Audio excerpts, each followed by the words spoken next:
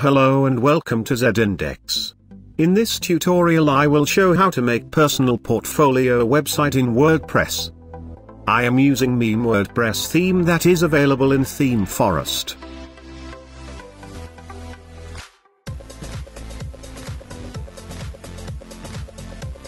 Log into your WordPress dashboard and install the theme.